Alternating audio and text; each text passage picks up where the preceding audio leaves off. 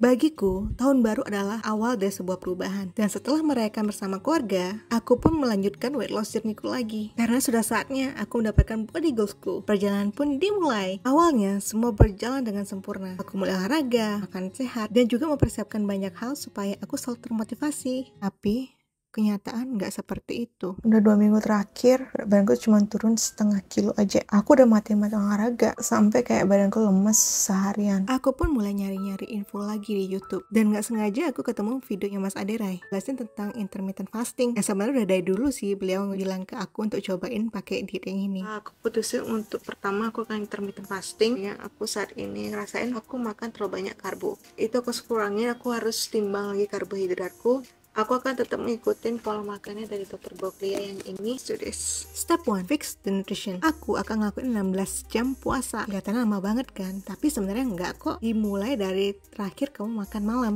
Gantikan dengan tidur, sampai kamu bangun pagi. Dan setelah olahraga, aku baru buka puasa dengan 8 jam jendela makan. Dietku kali ini adalah tinggi protein dan rendah karbohidrat. Aku pun belajar lagi seberapa banyak protein yang aku harus makan dan juga seberapa banyak karbohidrat yang aku harus makan. Dan aku makannya setiap 4 jam sekali. Jadi ya makan siang, makan sore dan juga makan malam yang light meal. Selama intermittent fasting, aku lebih suka untuk meal prep sendiri karena aku tahu jadinya berapa banyak protein yang aku makan dan juga cara masaknya. Seru juga bisa nyobain resep-resep yang baru dan juga enak. Gak boleh snacking. Dan untuk makan malam, aku selalu pilih Hotus Protein Smoothie. Buat kamu udah ngikutin aku, pasti tahu dong aku udah konsumsi ini sejak lama. Minum smoothies ini bikin perutku kenyang makin lama. Karbohidratnya kompleks bisa bantu aku untuk diet. Foto ada minuman sereal dengan kebaikan ubi ungu. Mengandung 15 macam multigrain, jadinya tinggi serat, tinggi protein. Oh ya, ini bukan minuman pelangsing ya, melainkan ini adalah superfood yang kaya dengan natural ingredients. Aku sudah konsumsi hoto ini sejak 4 bulan yang lalu and I love it so much. Setelah 2 minggu intermittent fasting, aku ngerasanya badanku makin enteng dan lama kelamaan makan nasiku jauh lebih sedikit karena udah kenyang dengan protein yang terlalu banyak. Step 2, enjoy the process. Aku udah gak fokus dengan angka yang ada di timbangan, melainkan aku fokus untuk enjoy the process. Ini ngebuat aku lebih happy.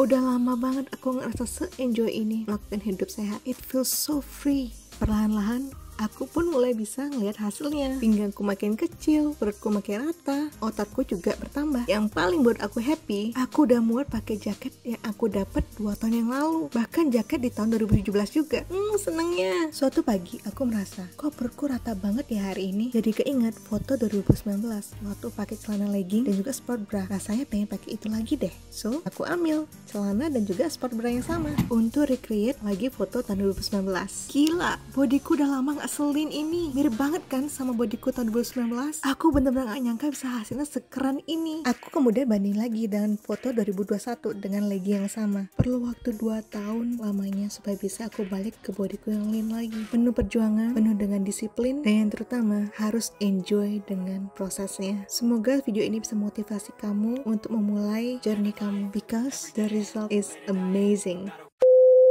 Hoto giveaway time. Kali ini kamu akan dapetin satu pouch Hoto Purto. Caranya gampang aja. Yang pertama, kamu harus follow Instagramnya @secangkir.hoto dan juga Instagram @yasinta.winarto. Jangan lupa subscribe channelku juga ya. Yang kedua, tulis apa yang jadi kendala diet kamu saat sedang puasa. Pemenang akan diumumkan sebentar lagi.